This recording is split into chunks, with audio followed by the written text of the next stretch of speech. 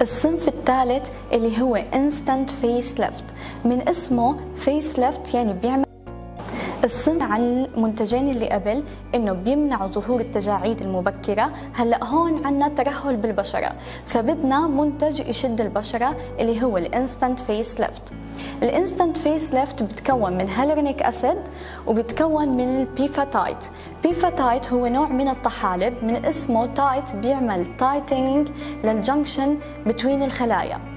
هلا وكمان بيعمل على زيادة إفراز الكولاجين وبيجدد خلايا البشرة فبشد البشرة وبيمنع ظهور التجاعيد.